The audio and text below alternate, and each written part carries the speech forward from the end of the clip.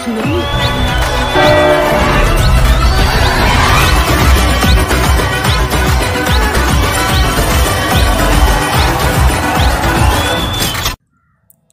കൊച്ചു കടൽക്കാക്ക പാറയിടുക്കിൽ തനിച്ചായിരുന്നു. അവന്റെ രണ്ട് സഹോദരന്മാരും ഒരു സഹോദരിയും ഇതിനോടകം തന്നെ പറന്നകന്നിരുന്നു. അവന് അവരുടെ ഒപ്പം പറക്കാൻ ഭയമായിരുന്നു. അവൻ നിൽക്കുന്ന പടിയുടെ അറ്റത്തേക്ക് നീങ്ങി തന്റെ ചിറകുകൾ വിരിക്കാൻ ശ്രമിച്ചു. പക്ഷേ തന്റെ ചിറകിനു താഴെ പരന്നു കിടക്കുന്ന വിശാലമായ ആ കടൽ കണ്ടപ്പോൾ അവന് ഭയമായി. കടലിന് ഒരുപാട് ആഴമുണ്ടായിരുന്നു. തന്റെ ചിറകുകൾ തന്നെ താങ്ങി നിർത്താനാകുമോ എന്ന് അവൻ ഭയപ്പെട്ടു. അതോടെ പടിക്ക് താഴെയുള്ള വിടവിലെ കോടി അന്ന് രാത്രി അവൻ അവിടെ കിടന്നുറങ്ങി. അവന്റെ സഹോദരന്മാർക്കും സഹോദരിക്കും അവനേക്കാളും ചെറിയ ചിറകുകളാണ് ഉണ്ടായിരുന്നത് സഹോദരങ്ങൾ പാറയുടെ അറ്റത്തേക്ക് നീങ്ങുന്നതും ചിറകുകൾ വിരിക്കുന്നതുമൊക്കെ കണ്ടിട്ടും അതുപോലെ പറക്കാൻ അവന് ധൈര്യമുണ്ടായില്ല.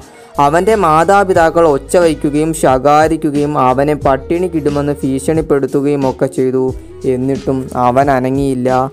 കഴിഞ്ഞ ദിവസമായിരുന്നു ഇത്. അതിനുശേഷം ആരും അവന്റെ അടുത്തേക്ക് പോയില്ല. അവനാണെങ്കിൽ അന്ന് മുഴുവൻ തന്റെ മാതാപിതാക്കൾ സഹോദരങ്ങൾക്കൊപ്പം പറക്കുന്നത് നോക്കി നിന്നു. മാതാപിതാക്കൾ അവരെ പറക്കാൻ പഠിപ്പിക്കുകയായിരുന്നു. തിരമാലകളെ വകഞ്ഞു മാറ്റി ഊളയിട്ട് മീൻ പിടിക്കാൻ അവർ അവരെ പഠിപ്പിച്ചു.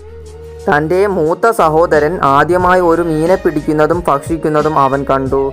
മകൻ ആദ്യമായി ഒരു ഇരയെ പിടിക്കുന്നത് കണ്ട് സന്തോഷിക്കുകയായിരുന്നു അവന്റെ മാതാപിതാക്കൾ. അവർ അഭിമാനത്തോടെ അവനെ വട്ടമിട്ട് പറന്നു. രാവിലെ മുഴുവൻ എതിർവശത്തെ പാറക്കെട്ടിൽ പറന്നു നടന്ന അവർ ഒരുമിച്ച് ഇളയ സഹോദരന്റെ ഭീരുത്വത്തെ കളിയാക്കി. സൂര്യൻ വന്നതോടെ പാറയിടുക്കിൽ ചൂട് കൂടി. ഇന്നലെ രാത്രി മുതൽ ഒന്നും കഴിക്കാത്തത് കൊണ്ടാവും ചൂട് അവന് വല്ലാതെ അസഹ്യമായി തോന്നിയത്. ആ തട്ടിന്റെ അറ്റത്തായി ഉണങ്ങിയ ഒരു അയിലയുടെ വാൾ കിടക്കുന്നത് അവന്റെ ശ്രദ്ധയിൽപ്പെട്ടു. വേറൊരു ഭക്ഷണവും അവിടെ ഉണ്ടായിരുന്നില്ല. അവൻ എല്ലായിടത്തും ഭക്ഷണം തേടി നടന്നു. അവസാനം അവർ വിരിഞ്ഞിറങ്ങിയ ഉണങ്ങി വരണ്ട ആ വൃത്തികെട്ട ആ കൂട്ടിലും ഭക്ഷണം അന്വേഷിച്ചു അവൻ ചെന്നു. ഉണങ്ങി വരണ്ട മുട്ടത്തോടിൽ നിന്ന് വരെ എന്തെങ്കിലും കിട്ടുമോ എന്ന് അവൻ അന്വേഷിച്ചു. അവന്റെ തന്നെ ഒരു ഭാഗം കഴിക്കുന്നത് പോലെയായിരുന്നു അത്. പിന്നീട് അവൻ ആ തട്ടിന്റെ ഒരറ്റത്തു നിന്നും മറ്റേ അറ്റത്തേക്ക് ഓടി നടന്നു. ഒരു കാൽ ചിറകിനടിയിൽ വെച്ച് അവൻ ഒറ്റ കാലിൽ നിൽക്കാൻ തുടങ്ങി. അവൻ ഒരു കണ്ണടച്ചു പിടിച്ചു. പിന്നീട് അടുത്ത കണ്ണടച്ചു. എന്നിട്ട് ഉറങ്ങി വീഴുന്നത് പോലെ അഭിനയിച്ചു. പക്ഷേ അവന്റെ മാതാപിതാക്കൾ അത് ശ്രദ്ധിക്കാനേ പോയില്ല. തന്റെ സഹോദരങ്ങൾ ആ പീഠഭൂമിയിൽ കിടന്നു മയങ്ങുന്നത് അവന്റെ ശ്രദ്ധയിൽപ്പെട്ടു. അച്ഛൻ ചിറകുകളൊക്കെ കൊത്തി വൃത്തിയാക്കുകയായിരുന്നു. അമ്മ മാത്രമായിരുന്നു അവനെ നോക്കിയിരുന്നത്. സമതലത്തിലെ കുറച്ച് ഉയർന്ന ഭാഗത്തായിരുന്നു അമ്മ നിന്നിരുന്നത്. അവളുടെ വെളുത്ത നെഞ്ച് പുറത്തേക്ക് തള്ളി നിൽക്കുന്നുണ്ടായിരുന്നു.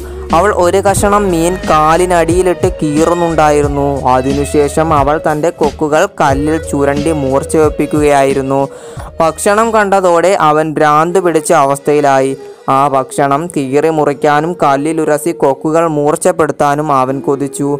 അവൻ പതിയെ ഒരു ശബ്ദമുണ്ടാക്കി. അതേ ശബ്ദം തിരിച്ചുണ്ടാക്കി അമ്മ അവനെ ഒന്ന് നോക്കി. അവൻ കാ കാ കാ എന്ന് കരഞ്ഞു വിളിച്ചുകൊണ്ട് അമ്മയോട് ഭക്ഷണം യാചിച്ചു. അവൾ കളിയാക്കുന്നത് പോലെ അവനെ നോക്കി. അവൻ തന്റെ സങ്കടം അറിയിച്ചുകൊണ്ടേയിരുന്നു. പെട്ടെന്നൊരു സന്തോഷ ശബ്ദവും അവനിൽ നിന്ന് വന്നു. അവന്റെ അമ്മ ഒരു മീൻ കഷണവും കുത്തി അവൻ അടുത്തേക്ക് പറന്നു ചെന്നു.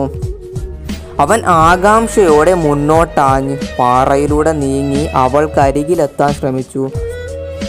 പക്ഷേ അവന്റെ തൊട്ടടുത്തെത്തിയപ്പോഴേക്കും അവൾ നിന്നു. അവളുടെ കാലുകൾ ചലനമറ്റ് ചിറകുകൾ നിശ്ചലമായി. മീൻ കഷണം അവന്റെ കൊക്കിന് വളരെ അടുത്തായിരുന്നു.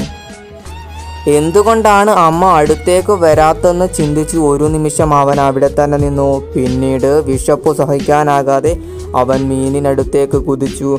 ഒരു വലിയ ശബ്ദത്തോടെ അവൻ മേലോട്ടും താഴോട്ടും നീങ്ങാനായി തുടങ്ങി. അവന്റെ അമ്മ മേലേക്കുയർന്നു അമ്മയുടെ അടുത്തുകൂടി പോകുമ്പോൾ അവളുടെ ചിറകടി വെച്ച് അവന് കേൾക്കാമായിരുന്നു. ഒരു നിമിഷം പേടിച്ചിരണ്ട അവന് തന്റെ ഹൃദയം മരവിച്ചതുപോലെ തോന്നി. അവൻ ഒന്നും കേൾക്കുന്നുണ്ടായിരുന്നില്ല. അത് ഒരൊറ്റ നിമിഷത്തേക്ക് മാത്രമായിരുന്നു. അടുത്ത നിമിഷം തന്റെ ചിറകുകൾ പുറത്തേക്ക് വിരിയുന്നതായി അവന് തോന്നി. വയറിന് കീഴെയും ചിറകിനരികിലും കാറ്റിന്റെ സാന്നിധ്യം അവന് അനുഭവപ്പെട്ടു. കാറ്റിനെ തന്റെ ചിറകിന്റെ അറ്റങ്ങൾ കീറി മുറിക്കുന്നതായി അവന് തോന്നി. ഇപ്പോഴവൻ വീഴുകയായിരുന്നില്ല മറിച്ച് പറക്കുകയായിരുന്നു.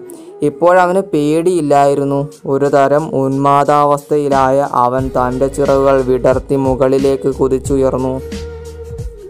സന്തോഷസൂചകമായ ഒരു ശബ്ദത്തോടെ അവൻ വീണ്ടും ചിറകുകൾ വിരിച്ചു ഒപ്പം മുകളിലേക്കുയർന്നു. നെഞ്ചുയർത്തി പിടിച്ച് അവൻ കാറ്റിനെതിരെ നീങ്ങി. കാ കാ കാ എന്ന് അവൻ കലമ്പി. അതേ ശബ്ദത്തോടെ വലിയൊരു ചിറകടി ഒച്ചയോടെ അവന്റെ അമ്മയും കുതിച്ചുയർന്നു. സന്തോഷസൂചകമായ ഒരു ശബ്ദത്തിലൂടെ അവൻ അമ്മയ്ക്കുള്ള മറുപടി നൽകി. പിന്നീട് അവനെ മറികടന്ന് ഒച്ചയിട്ട് പറന്നത് അച്ഛനായിരുന്നു. പിന്നീട് അവൻ നോക്കുമ്പോൾ കണ്ടത് തനിക്ക് ചുറ്റും സഹോദരങ്ങൾ ചിറകടിച്ചു പറക്കുന്നതായിരുന്നു. തനിക്ക് പറക്കാൻ കഴിഞ്ഞിരുന്നില്ല എന്ന കാര്യം പോലും അവൻ മറന്നു. ഉച്ചത്തിൽ ശബ്ദമിട്ടുകൊണ്ട് അവൻ വായുവിലൂടെ കുതിച്ചുയർന്നു. ഇപ്പോഴവൻ കടലിന് മുകളിൽ കൂടെ തൊട്ട് തൊട്ടില്ല എന്ന മട്ടിൽ പറക്കുകയാണ്. വിശാലമായ കടൽ തിരകളടങ്ങി തനിക്ക് താഴെയായി കിടക്കുന്നത് അവൻ കണ്ടു. തന്റെ കൊക്ക് ചിരി ചരിച്ചു പിടിച്ചു തമാശ രൂപത്തിൽ അവൻ ഒച്ചയിട്ടു. അവന്റെ കുടുംബാംഗങ്ങൾ മുഴുവൻ ആ പച്ചപ്പുള്ള സ്ഥലത്ത് അവന് മുമ്പിലായി വന്നിരുന്നു. അവർ അവനെ സിഗ്നൽ കാണിച്ച് വിളിച്ചുകൊണ്ടിരുന്നു. അവൻ പതിയെ തന്റെ കാലുകൾ കടലിൽ പതിപ്പിച്ചു. പക്ഷേ അവൻ മുങ്ങിപ്പോകുന്നത് പോലെയാണ് അവന് തോന്നിയത്. പേടി ചലറിക്കൊണ്ട് അവൻ വീണ്ടും തന്റെ ചിറകുകൾ വിടർത്തി മേലേക്ക് ഉയരാൻ ശ്രമിച്ചു. വിശപ്പ് കൊണ്ടുള്ള തളർച്ചയും ഇത്ര നേരത്തെ അധ്വാനവും കൊണ്ട് അവൻ ഉയരാനേ കഴിഞ്ഞില്ല. അവന്റെ കാലുകൾ വെള്ളത്തിനടിയിലേക്ക് പോയി. തന്റെ വയർ വെള്ളത്തിൽ പതിയെ അമരുന്നത് അവൻ അറിഞ്ഞു പക്ഷേ അത് വെള്ളത്തിൽ മുങ്ങുന്നില്ല എന്നും അവൻ മനസ്സിലാക്കി. അവൻ വെള്ളത്തിൽ പൊങ്ങിക്കിടക്കുകയായിരുന്നു. അവന്റെ കുടുംബം മുഴുവൻ അവന് ചുറ്റും നിന്ന് ആനന്ദ നൃത്തം ചെയ്യുകയായിരുന്നു അവരവനെ പാടിപ്പുകഴ്ത്തുകയും അവൻ ആവശ്യമായ മീൻ കഷ്ണങ്ങൾ നൽകുകയും ചെയ്തു. A heart means his first flight അതായിരുന്നു അവന്റെ ആദ്യത്തെ പറക്കൽ.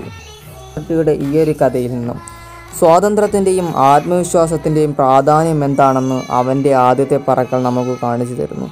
കുടുംബാന്തരീക്ഷത്തിൽ നിൽക്കേണ്ടതിന്റെ ആവശ്യകതയും ഇത് ചൂണ്ടിക്കാണിക്കുന്നുണ്ട്. ആത്മസന്തുഷ്ടിയുടെയും സ്വാശ്രയശീലത്തിന്റെയും പ്രാധാന്യം എന്താണെന്നും ഈ കഥയിലുടനീളം പറയുന്നുണ്ട്.